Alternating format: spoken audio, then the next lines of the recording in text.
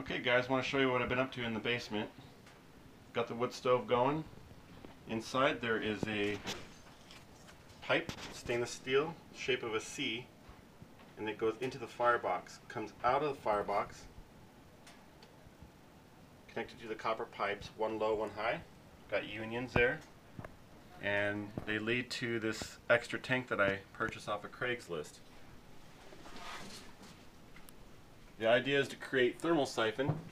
Thermal siphon is uh, hot water rising through the pipe right there into the tank and on the bottom it sinks down toward the wood stove and it just starts to do this cycling all on its own. And it'll heat this water tank up. It'll keep the temperature will keep rising. On top is an air valve.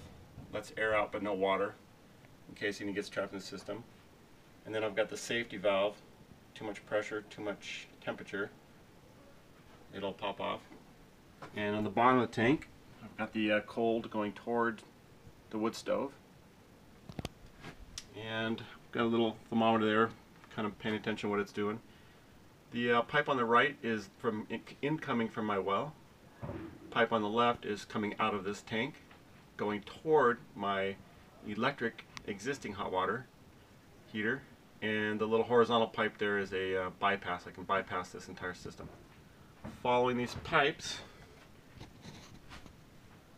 PEX line goes over to my existing water heater, which is unplugged.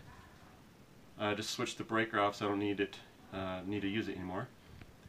The gray insulated pipe is incoming from the other tank and looks to be about 120 degrees.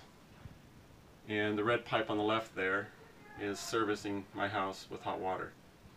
So this is a pressurized system. It's uh, my normal well and uh, pressure tank pressurized it. I think it's about 55 psi.